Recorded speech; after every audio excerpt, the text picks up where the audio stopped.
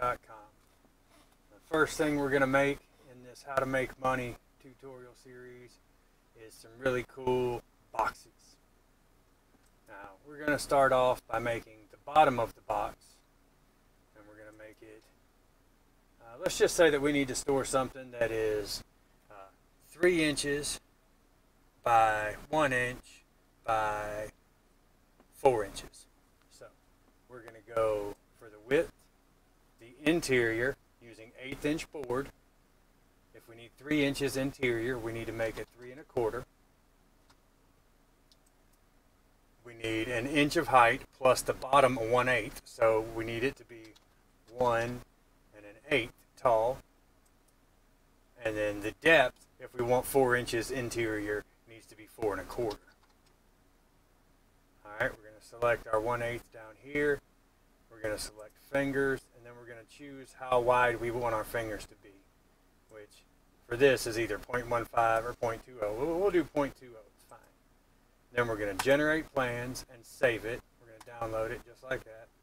And that's case plans blank. That's the bottom. Then we're going to come back and we're going to make the top of the box. Now the top of the box needs to be able to house the bottom nested inside. So it has to be bigger.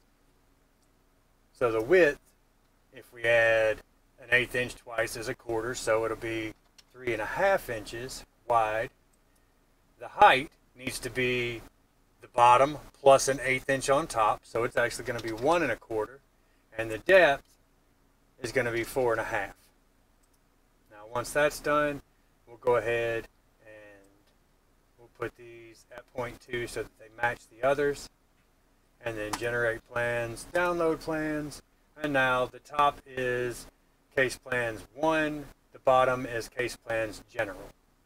So we go straight to our Corel Draw. We're going to open a new file by pressing Control and N. So create new document. We're going to call this uh,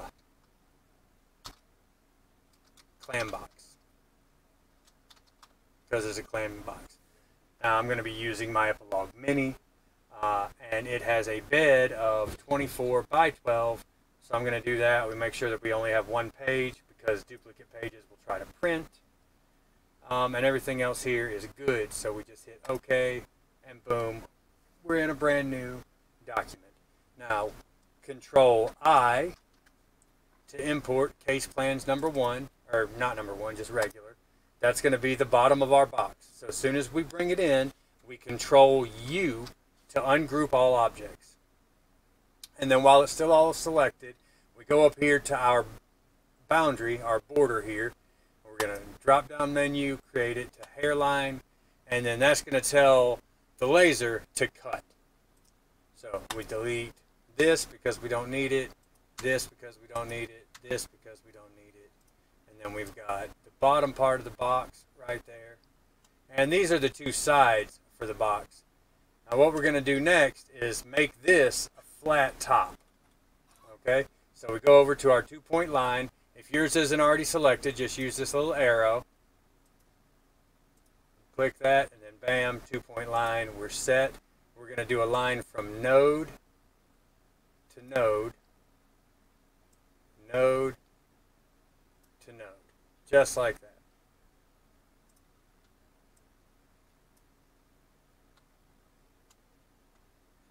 Okay, and then we go right here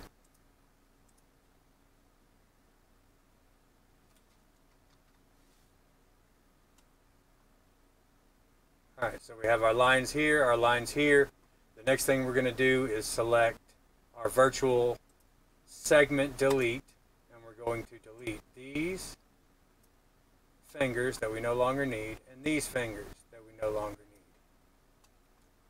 Now, you can see the little dashes here. They disappear if you zoom in, but you can see them from back here. And that means that your laser is going to try to engrave them. So we're going to select there on one of the thin lines. We're going to hold down shift, select again, and then we're going to press up to open it up. Now you can see those lines. We're going to virtual segment delete those, just like this, just like that. Go back to our picker tool and back down until this is nice and even. And once that's done, we select, we group objects. We also can just do Control G group objects. And that's our inside box. Now, obviously, our box needs four sides. So we are going to take and we're going to duplicate. That's Control D, and then just mouse it down. Just like that, the inside of our box is done. Now, for the top of the box, Control I again to bring in case plans 1. Pop it down. We're going to ungroup. We're going to hairline. We're going to delete all of these things that we no longer need. We're going to scoot that out just a little. And then the same thing we did to the bottom of the box, we're going to do to the top of the box.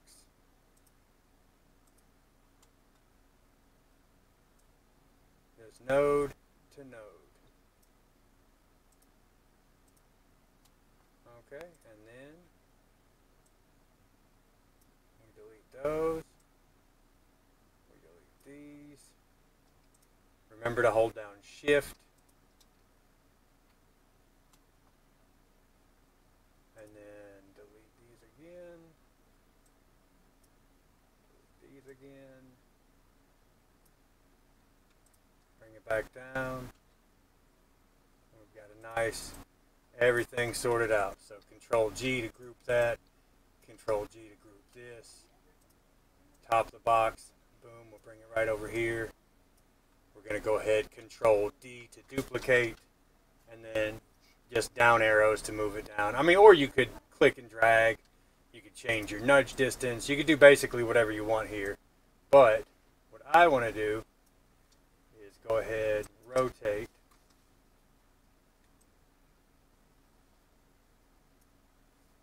for this.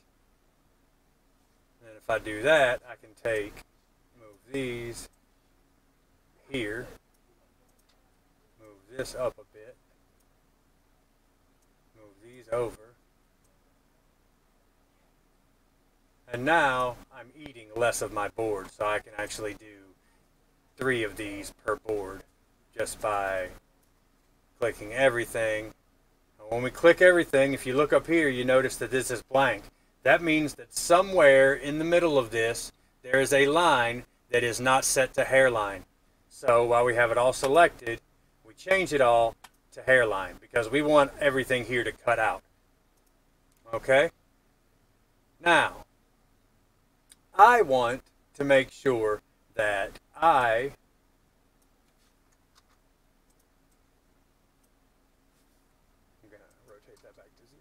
I want to make sure that it's easy enough for me to pick up and pull the interior box out from the outside box. So I want to put some finger holes in it. We're going to finger hole it up, hairline it up. Don't. Just, you know what? There we go.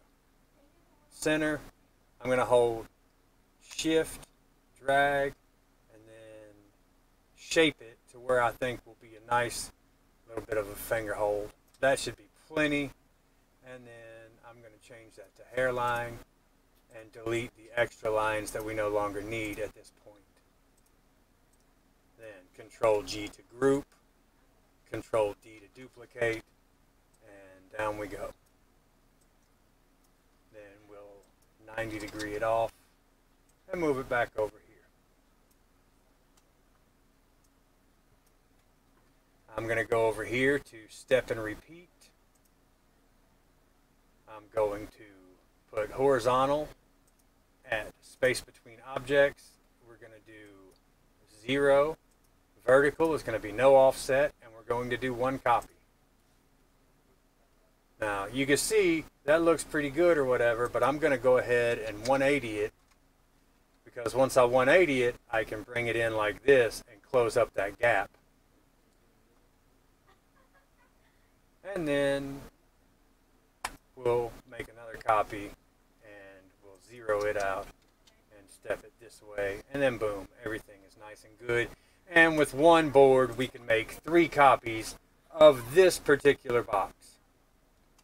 However, for this tutorial, I don't need three copies of this box. I'm only going to need one copy of the box, so I'm going to delete all of that stuff out. Now, this by itself is plenty good enough to have a saleable product. You could sell custom boxes, put your stuff in there, be done, ready to go. Or you can actually do some type of images that you want to engrave on it. Now, I'm going to control I and bring in just some type of image. I'm going to do this old Thundercats thing just because I can. And I'm not selling this, so it's fine. Um, I'm first going to take and go to bitmaps, go to mode, make it black and white. That's good, so I don't even need to adjust down here, and I've already chosen line art. Now, once I've got it done, I need to pretty it up. You see how it's all janky and jagged? That's not something that I want. So I'm going to go to outline, trace line art, and then I'm actually going to do remove color from the entire image. And then that gives us a nice transparency. Okay. Then I'll take it over to the top of the box, which is the larger of the two, right here. And there it is. And let's go ahead. I'm going to click one corner and hold down shift. And that's going to expand from the center until it looks like it's right where I want it to be. Now this thing said it was in the center, but if I'm looking at it, this side and that side are not very well centered. So I'm going to actually use my keys and pretty it up. The top and bottom don't look centered either. So I'm going to manually just nudge it a bit. Now if I didn't want to nudge, if I wanted it to be perfect, I would use this measuring tool and I would go from edge to there and then to here. But as you can see, I'm actually pretty good at just eyeballing it. So now let's finish this tutorial by actually making this box. I am going to switch over to my camera now, but before I do, let's go ahead and as I said, I'm using my Epilog Mini. It is a 60 watt. We're cutting eighth inch board. So I actually will click print right here, choose my Epilog Mini, go to preferences, and then because I'm engraving and cutting, I'm going to leave it on combined. Uh, 600 is fine for the DPI. I don't do autofocus, I manually focus. Uh, the size of the piece that I'm putting in is 24 by 12, so it's good, it matches the bed. I'm going to raster at 50% speed, 100% power. I'm going to raster from the bottom up using a Jarvis dithering. And then for the vector, because it's eighth inch, I'm actually going to do a 20% speed, 100% power, and somewhere near 500 for the frequency. Mine's just a 569. It's, it's perfectly fine. I click OK. I click Apply. I look in my preview window over here, and I can see that, yes, this is exactly what I wanted to do. I'm going to hit OK, and that sends it to my laser. That's where we're going to pick up in just a second.